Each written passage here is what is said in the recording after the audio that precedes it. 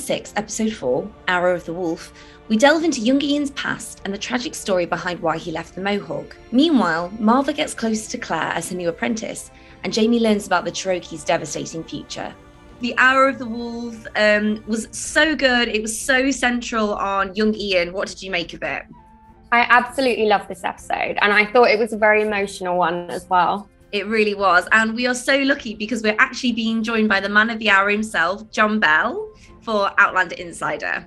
Perfect that we have you because it is um, young Ian's big week where we find out what went down with him and the Mohawk, and there's a lot of flashbacks. So, I mean, how excited were you to find out that that was in this season? Oh, I was like over the moon to hear that there was going to be a young Ian focused episode that we're finally going to get to like tell this story, unravel all these mysteries that have only been hinted at in the past. I mean, I from the books, I knew what was going to happen, but I didn't know whether we were going to just get into it or not. So when I sat down with with Matt, Matt Robertson was like, he was like, we're going to do an episode basically dedicated to young Ian's time with the mohawk, I was like, yes, perfect, something to sink my teeth into. It's such an emotional episode. Yeah, yeah. I mean, how, how, was it getting into that into that frame of mind? Um, it was quite funny because it was actually that was the last episode we shot because we had to, of course, get right. all the actors who were from Canada to help fill out the Mohawk Cherokee trading posts and tell those stories.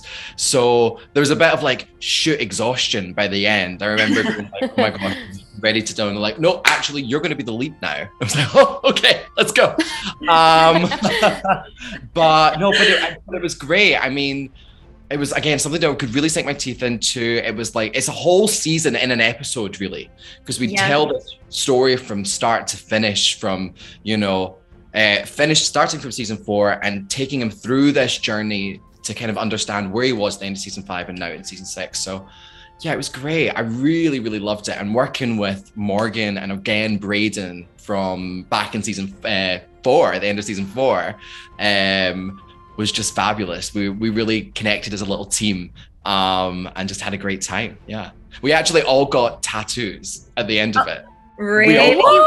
What's your tattoo? It's yeah. like a little, it's a little wolf on my hip, a little oh, I love that. single drawing line wolf that's on my hip. So I'll always have a little memory on me of, oh. of our wolf. Really that's cool. so nice. That's like Lord of the Rings when they all got the. Oh yeah. totally, yeah, yeah, yeah. I've got a dragon on the other one for the Hobbit, so it's like oh, my wolf that's so cool. dragon. Oh, yeah. Oh I know. Makeup artists are gonna hate me. Yeah.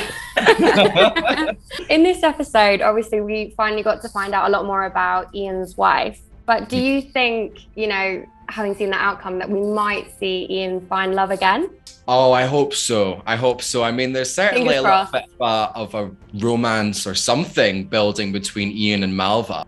Yeah, uh, we clocked that. We're yeah, yeah. There's a little, there's a little mm-hmm going on there. um, but yeah, I have hopes. I mean, Ian is a character that is full of love uh, for his family, for for his wolf, um, you know, for for the for the the, the his Mohawk family as well. So there's a lot out there for Ian to give, and you know, he's just had a bit of a bad run of it, you know.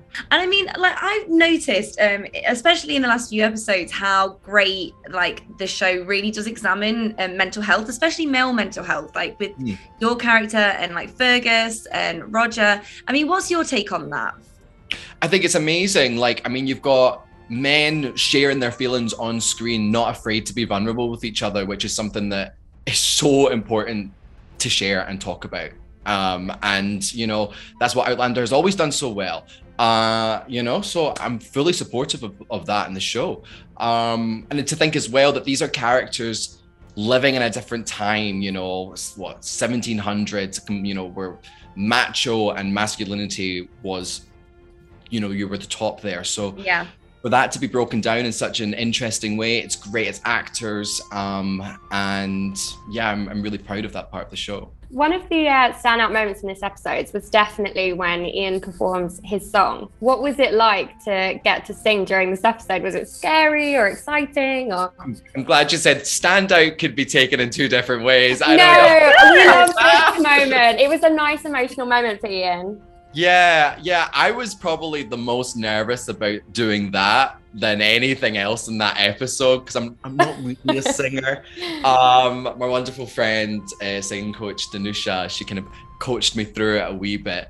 Um, but yeah, it was it was fun. That day was that was the last ever scene, I think. No, no, no. The last, last one was actually the first one of the episode, which is young Ian's transformation. Oh, we see it right. back in season four, Ian, and they go through all the the the ritual to to turn him into a mohawk. Um, and so that was then the second last scene. So we are all in quite like a jolly mood, you know. The churro truck was in, so it was like we're all in a good mood. And I was like, oh well, I'll give it a go. Let's have a wee sing song. Why not? And I mean, speaking of um the young Ian's transformation into like one of the mohawk. I mean, what's the process there for the costume? Because I mean, it looks amazing. You, it, but it must be challenging to do.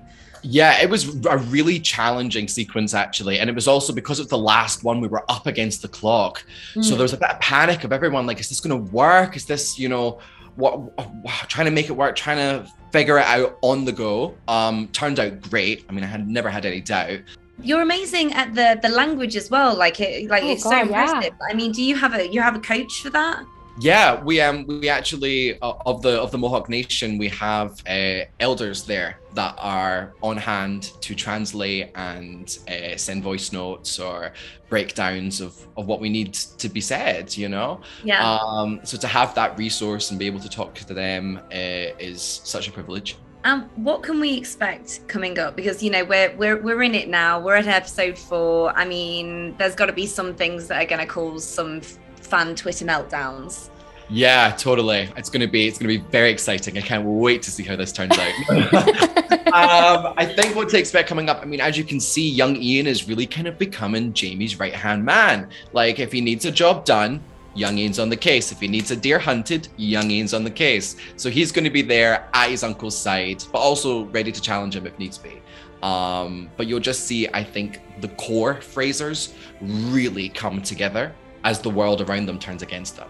Um, so yeah, we'll wait and see. Thank you so much for joining us today. Thank you so much. Pleasure. Thank you so much for joining us for another episode of Outlander Insider. Don't forget to like and subscribe, and we will see you next week. Bye.